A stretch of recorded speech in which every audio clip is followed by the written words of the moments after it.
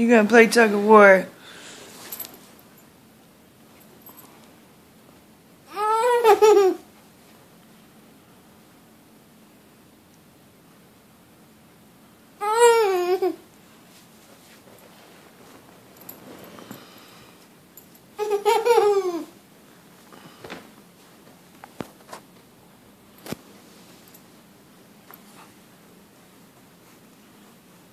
You go.